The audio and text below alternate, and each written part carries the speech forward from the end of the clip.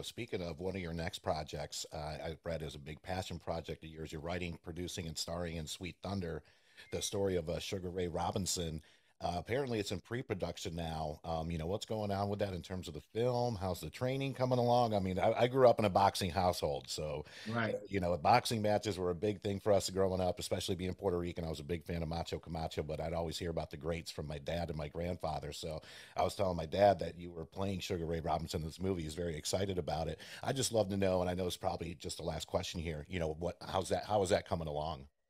Well, you know, a, a an element of my career, unfortunately for me, has been these uh, passion projects that take an enormously long amount of time to get done. I mean, Selma was seven years. I think we were trying for five years to get The Water Man made. Bass Reeves, which I just did, was eight years.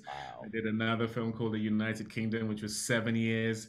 Um, Sweet Thunder is now coming on 10 years. Um, you know that I've been trying to get that that made, but uh, so God willing, we, we we will get it done. I, I've I've had a pretty good strike rate with eventually getting there, but uh, it's it's always hard to to go ask people for millions of dollars to uh, tell a story that you deem important and that for whatever reason they they might not quite see it yet. But I'm I'm pretty pretty convincing. So uh, you know, uh, ho hopefully uh, you and your dad will be enjoying that one sometime soon. Hopefully.